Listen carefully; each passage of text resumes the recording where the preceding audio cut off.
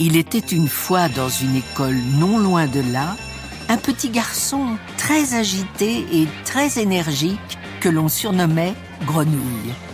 Grenouille sautait partout, tout le temps. Il voulait tout le temps jouer avec les autres et s'amuser. Seulement, son énergie et son tempérament agaçaient les autres enfants. Grenouille était souvent isolé des autres. Et Zoé, la maîtresse, l'envoyait souvent au fond de la classe pour se calmer seul en lisant un livre. Grenouille ne faisait rien de mal, il était plus énergique que les autres enfants. Dans la même classe que Grenouille, Éléonore, une petite fille douce et calme, distribuait ses cartons d'invitation pour ses cinq ans à tous ses camarades. Le seul à ne pas être invité était Grenouille, encore isolé dans un coin, tout seul. À l'heure de la récréation, Éléonore jouait avec un joli ballon orné de paillettes dorées. Alors qu'elle s'amusait dans la cour avec son ballon, elle le fit tomber au fond d'un creux profond, protégé d'une grande barrière de bois. Grenouille, à la recherche de quelqu'un pour jouer avec lui, remarqua Éléonore assise devant la barrière. La petite fille pleurnichait devant son ballon au fond du trou. Si tu me promets d'être ton ami, j'irai le chercher. Éléonore regarda Grenouille avec des yeux méprisants. Pff, mais tu peux même pas aller le chercher. Bah bien sûr que je peux. Mais tu joueras avec moi après. Je serai ton copain, on est d'accord. Tout ce que tu veux, oui, mais va me le chercher s'il te plaît.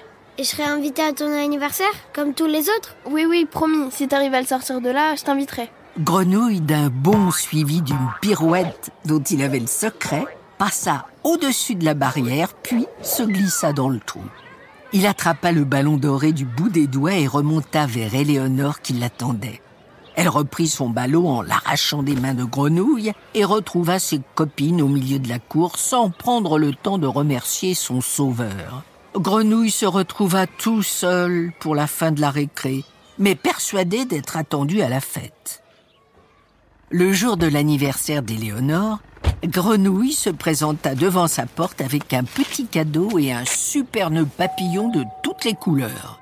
La maman d'Éléonore ouvrit la porte et Grenouille, le sourire jusqu'aux oreilles, entra dans la maison en fête. Toute la classe était là et s'amusait dans le jardin. Dès que les enfants remarquèrent Grenouille dans la maison, ils se tournèrent vers Éléonore, déçus. La petite fille accourut devant Grenouille et le pria de rentrer chez lui. Ah non, on veut pas de toi ici. T'es trop excité, va-t'en.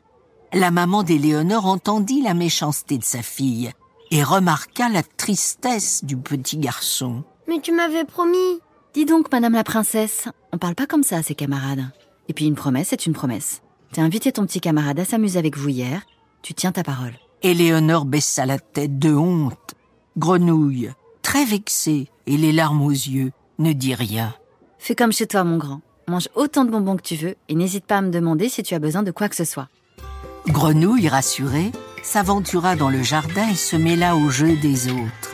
Il courait toujours plus vite que ses camarades, faisait le plus de bruit et avait toujours plus de choses à raconter, mais il s'amusait et les autres le laissaient faire. Seule Éléonore semblait dérangée par l'énergie de Grenouille. Le moment des cadeaux arriva et Grenouille présenta son petit paquet à Éléonore. Elle arracha le papier cadeau et le déballa sous les yeux envieux de ses copains. Elle fut surprise de trouver un très joli pull avec des paillettes dessus où un message était inscrit La plus chouette des princesses.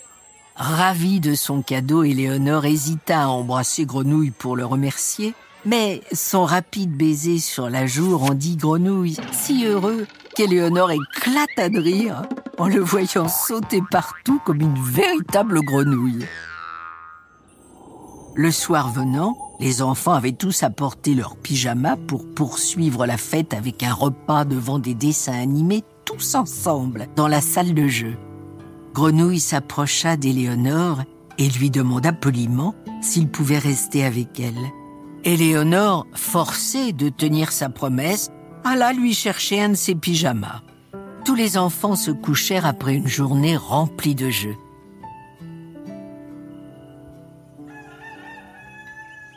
Le lendemain, alors que l'odeur des tartines grillées envahissait toute la maison, Éléonore et ses copains ouvraient doucement les yeux. À la place de Grenouille, un petit garçon au visage calme et apaisé, l'esprit tranquille et le regard doux le remplaçaient. Éléonore, surprise de découvrir une nouvelle personne à la place de l'incorrigible grenouille qui s'était endormie à ses côtés la veille, ne trouvait plus ses mots. Alors, tu n'imaginais pas que j'étais un vrai prince? Il suffit d'être gentil avec les gens et tu découvriras leur vraie nature. En tenant ta promesse, tu m'as libéré du regard des autres et tu me découvres tel que je suis. Mais grenouille Ne m'appelez plus grenouille, mon prénom à moi c'est Alice. Oh, quel joli prénom. Je suis désolée, Ali. À partir de maintenant, je te promets que nous serons toujours amis. Même si, bah, quelquefois, on n'a pas la même énergie. Les deux nouveaux amis se retrouvent en classe où Ali, désormais toujours très bien entouré, arrivait à canaliser toute son énergie pour laisser ses camarades avancer à leur rythme et leur laisser un peu de place.